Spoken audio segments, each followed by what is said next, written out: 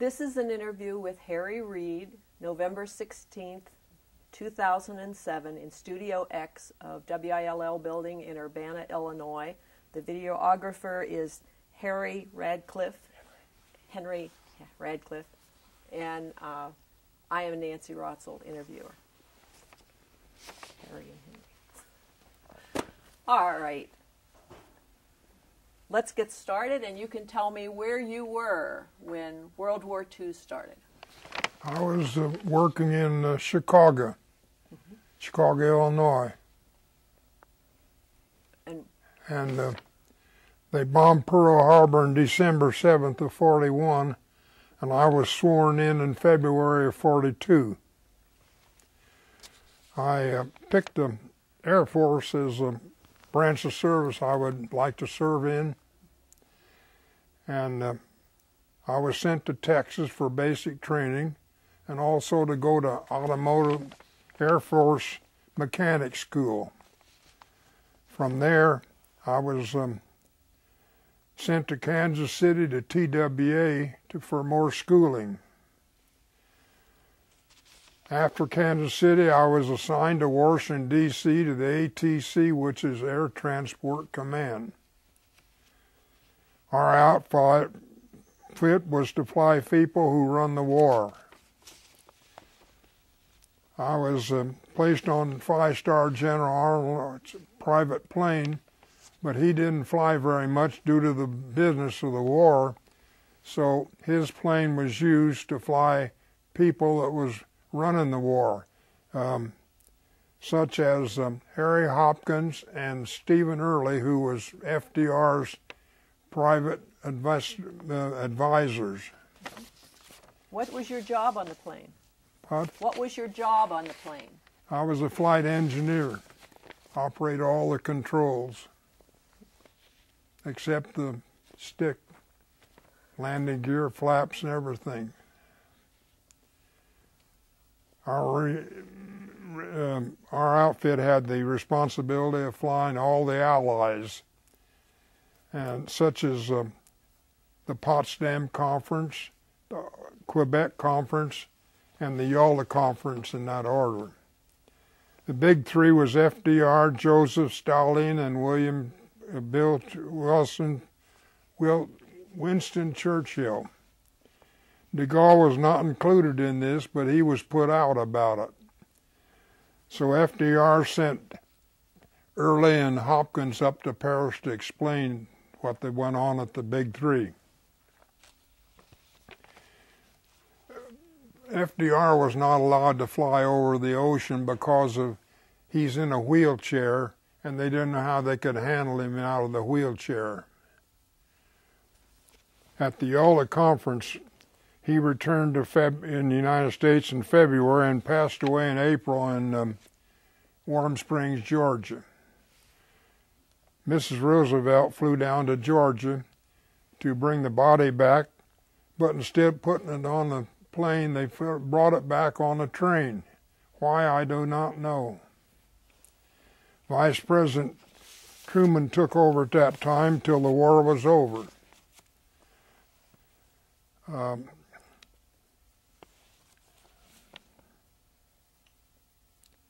it was important to fly the Secret Service men ahead of, about 20 minutes ahead of the president to make sure it was they scattered among the people make sure it was safe for him to land.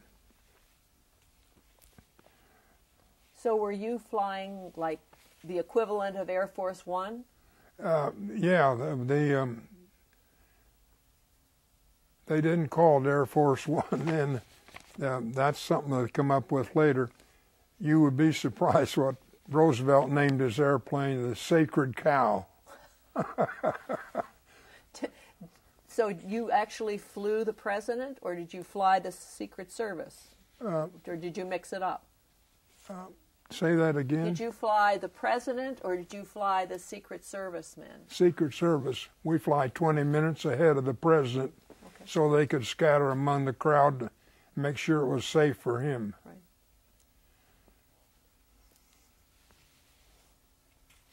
Uh, all these flying missions was done in a C-54 called a Skymaster. That was the largest plane that the military had at that time until the B-29 come out, the Super Fortress. Um, we set a world's record flying from Washington, D.C. to Stephenville, Newfoundland, nonstop to Paris, to Bermuda, to Azores, to Bermuda, and back to Washington. And we were gone 45 hours, and we were in the air 40 hours and 15 minutes out of the 45 hours. Wow. That's a long time up there.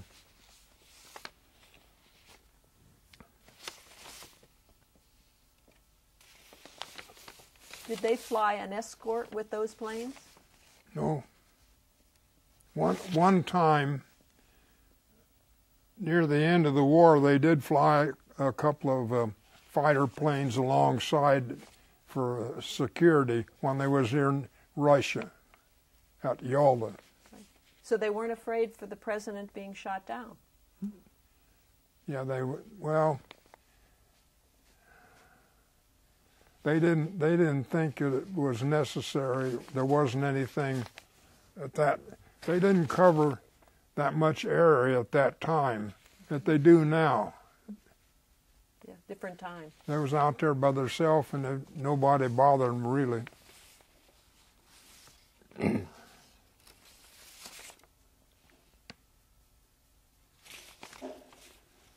um, couple of little comments down here we were photographing the west coast of South America to um, move the supplies and and the men to get him to Australia to come up to Japan, but the Truman okayed to fly the to um, drop the atomic bomb, and the, the second one they dropped, they told them both times that they were going to be they should get out of the area they dropped leaflets, pamphlets, and tell them to get out of the area, but they didn't, people didn't pay attention to it.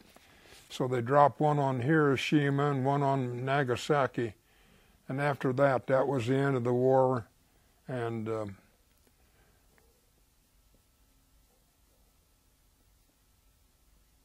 Japan come to the the Missouri boat of Missouri uh, with uh, General MacArthur where they signed unconditional uh, surrender.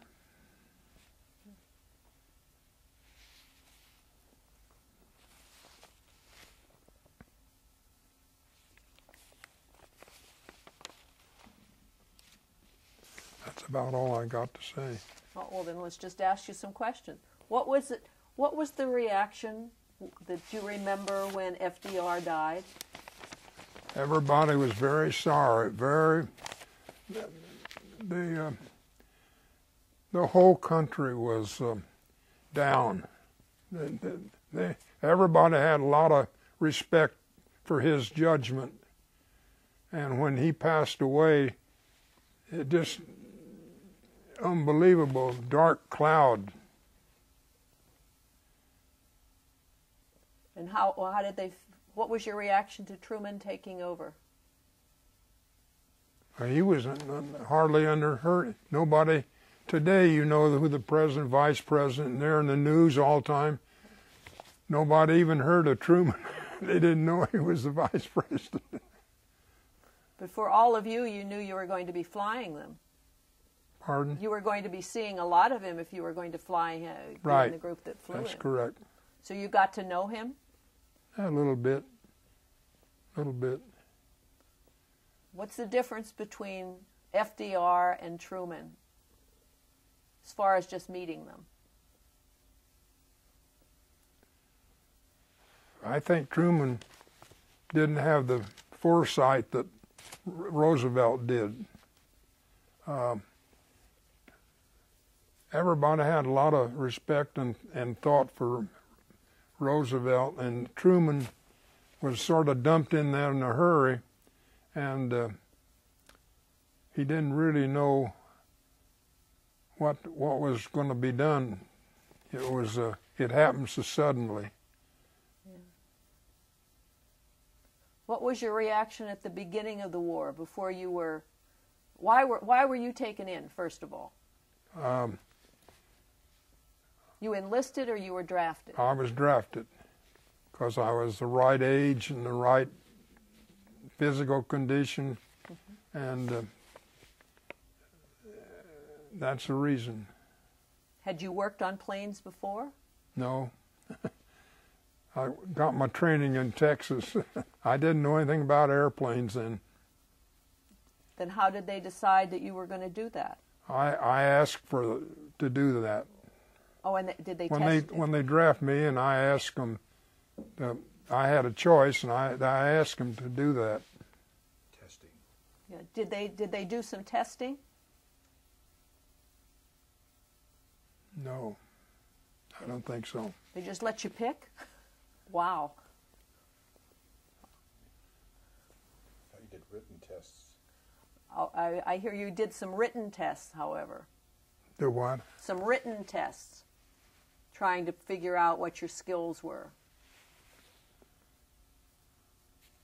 Did they make you write out tests? No. No. That's a big job. I'll take that back. They did. We did have to write a one test. Uh, um, in Texas, we had to write a, a Texas take a written test. I forgot about that. That's true. We did to see what what you fit into. But you wanted to do that instead of go go into the South Pacific or go somewhere else. Right. What did you do before the war? I was in uh, um, sales. I was a salesman. Woolworth. Woolworth department store. Oh, so the so you didn't have anything to do with planes. You just liked them. No, that was all new to me. Much more than it is today. It, it, it, it that back in those days there wasn't many, much flying and much uh, airplanes and people flying. Like today, it's common, just common. Everybody, you know, Right. Did you all keep track of what was going on in the war? Had I keep track of it Yeah. as best I could. How did how did people find out about it? You didn't have television. Um, true, radio and newspaper. They were pretty good. Yeah,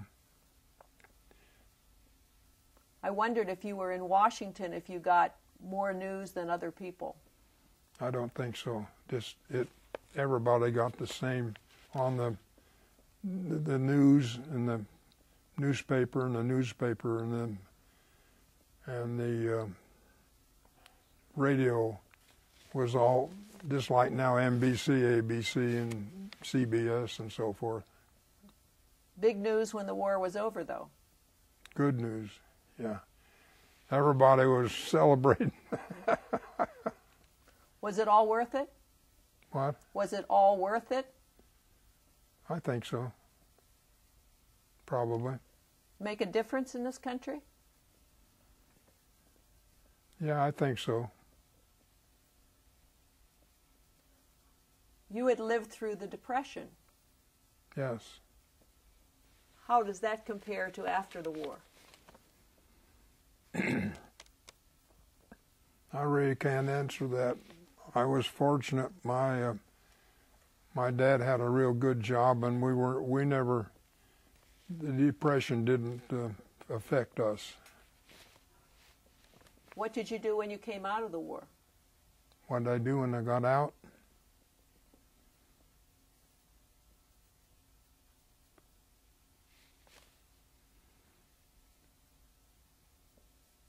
You celebrate?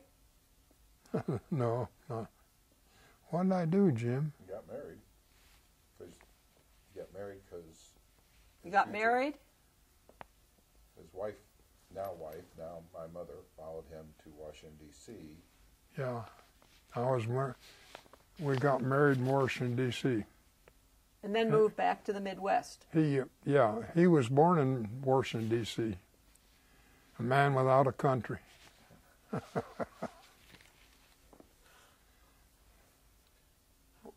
Was there anything you want to add? No. No. What about conditions at what Yalta?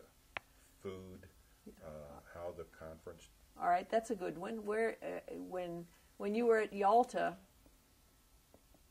there was the big three. What was it like being there with everyone? You have good quarters. I, I hate to say this, but it was pretty bad. We were there uh, 13 days, and uh, it was in the wintertime, snow, and uh, the food was lousy. It, was worse than that. It was, I'll tell you how bad it was. We had one meal in the mess hall in Russia, and the rest of the time we were out the airplane. We had we had 13 C-54s on the Yalta conference, and one of them was to supply food and water, and we ate on the airplane from there on. Where did the rest of the people eat? All of us, all of us ate on the airplane, uh, and we had to we had to send food back into Roosevelt because it was. That's true. That's a funny picture. How does that? Was that true of all the other conferences, the Potsdam and the others? Quebec. I had nothing to do with them. Well, I flew up there and back, but I don't know anything went on there. You didn't stay long. Potsdam was short, and Quebec was only two, three or four days. All it was there.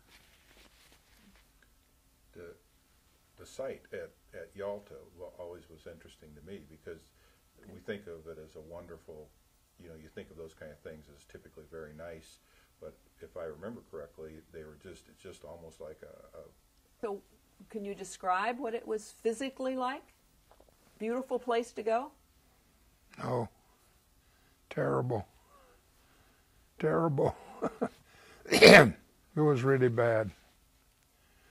They they had three buildings, and two of them was for the sleep, and one was uh, for um, food and uh, business and so forth. Like he said, they had a just a wire up with a sheet slide back and forth between the difference of the people running the war and us. It was just crew members. The food was bad, bad. Crew members for all the other of the, the other two were with you, or were you all separated by? Separated. So you never got a chance to talk to them. No. I believe they moved out the people in the area, the Russian people from the Oh. Crimean, Right. So and you only kept a few. right. So that, how did that affect the people who lived in the in the area? I mean, you all come in, and you know the, the You mean powers- Yalta? Yes. They moved everybody out. They told Russia is um, pretty strict, and there's going to have the conference there. They told everybody to move out, and we'll tell you when they can move back in. That's you think hard to. that bu- think that would have gone in the United States? Huh? You think they would have been able to do that in the United States? No. There's all the difference at that time, and probably still a little bit now, but more so then. The difference between Russia and the United States was like black and white, that far apart. Do you think because you flew the planes and met so many, what did you call the the groups that you flew?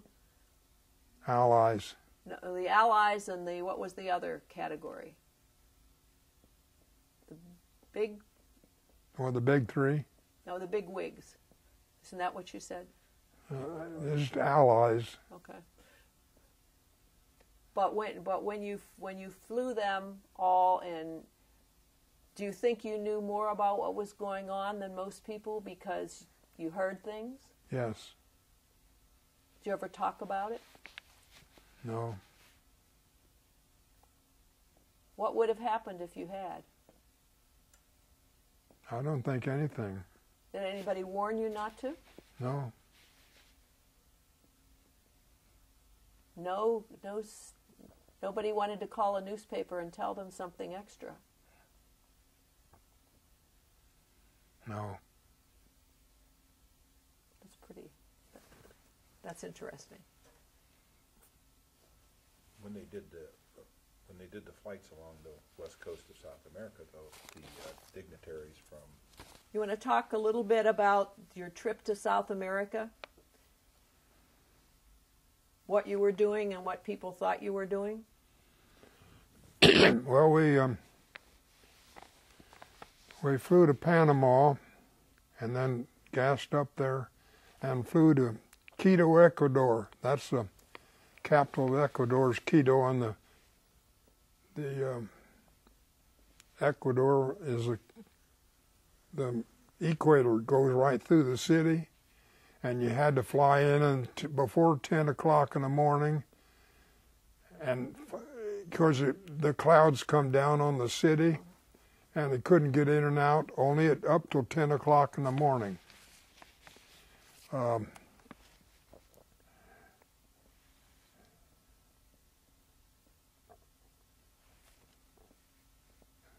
they um, they were taken, I think I told them though, didn't I, about taking pictures of the west coast of South America. Right. Why were you taking them though? Um, they were going to. It took too long to ship men and material uh, by boat. They wanted to get it down there and get to Australia and come up to Japan, and uh, could speed it up that way. So they they knew what cities they could take it there, because it was slow getting across the um, ocean with boats, and uh, it would be faster this way to use men and troops and supplies across the ocean to uh, Australia to come up against Japan. But the atomic bomb stopped that. They didn't have to do it. Would they would they have flown troops? Yeah, yeah. But the people didn't know that's what they were Yeah. doing. So th- so that was all a secret though. Sort of.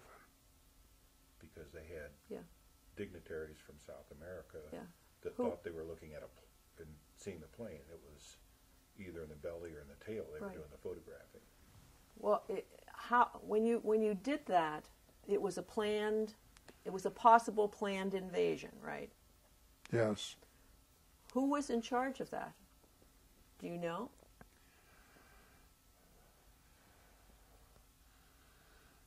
Um, probably. I don't know whether Eisenhower would be in charge of that. Um,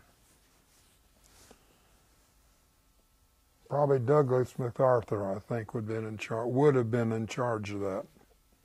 He was in the uh, Pacific uh, area. That was where he was in charge of. Did they make modifications to your plane to be able to take the pictures and everything? No. Just took a window out, and they had a camera. It was about that big, and take the pictures out of the out of the side of the airplane. Then put the window back in. Still pictures. Mm-hmm.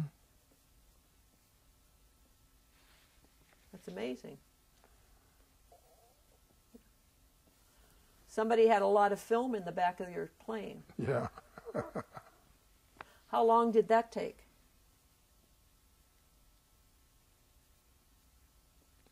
Um, I'd say it took about three days to do it. Now they weren't taking pictures all that time, but from town to town and where they stayed, and then go up and take the pictures, and then the next town. See, they went to Afghanistan, Lima, Peru, San, San, um, San Diego, um, Chile. And that took about three days, I'd say. Did all your crew remain the same for those four years? Yeah, Nobody, no, you had no injuries. no, none. You were lucky. Very, very lucky. Only one shot came through. Had about uh, 2,500 hours up there, Yeah. the total, It- that- in the four years that I was in the service. And you were never shot at? No, One bullet came through the plane in over Italy, I think. I can't hear you, Jim. No, he was saying that something happened in Italy. Did you get shot at it in Italy? Oh, um, the island of Malta out in the Mediterranean was the um, rendezvous for the Yalta Conference. And um, one plane took off, and the, we kept radio silence, so nobody the, couldn't, the enemy couldn't keep track of what was going on. Excuse me, and. Uh, they took off from um, Malta to go up to Russia, and um, one airplane, the first airplane, got three shots put through the the aileron and the rudder, but they was able to dig and get out of it, and that was it. So they changed the way of going, and instead of going up that way from Malta, they went over to Athens, Greece, and up that way, and I got to see all that Athens. We flew around it twice around just to see all that uh, destruction. You know, over the years, you've seen all those pictures uh, of Russia or um, y'all, uh, Greece, Athens, Greece, and then on up to there. Ever figure out who shot at them? A friend of mine was in the, in that airplane. I wasn't in the one that got shot. Named Coleman, and he was sitting in the seat back in the back. He got up and was walking up to the flight deck, and one of the shots went right through the seat where he was sitting. that's that's shaky. Yeah. Bet he couldn't wait to tell you. Yeah, right. Did they have? They didn't have to put down in order to repair or anything. No. Was that was when you were on your way to Yalta? Right. So he was one of the. Did you say three planes? How many planes? Thirteen. Thirteen. 12 passengers and one supply. The um, they only put one or two exec uh, allies in a plane because if one went down, they didn't want to lose everybody.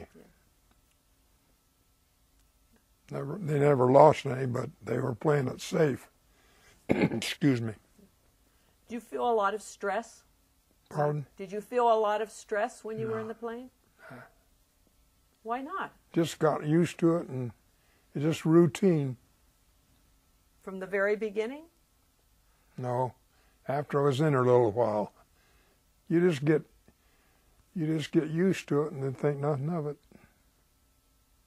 And all the stories about all the the hot spots around the world where people were being shot, they didn't you didn't think you might be next? No, Brave man. Well, because of the dignitaries, they stayed away from almost anything that involved con- uh, But today but today you would have people shooting at the kind of people you were ferrying around. that's right. What do you think makes the difference in the time? Why didn't anybody go after them? I don't know. Would have surprised you? Yes, It's amazing. It's amazing. Well, I, I think we're. Do you want to kind of sum up? Give me a brief couple sentences on your experience and what you thought of World War II.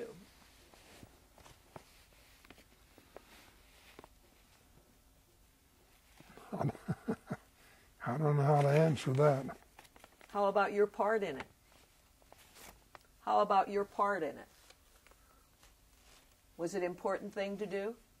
What? Was your job important? I think so. Because why?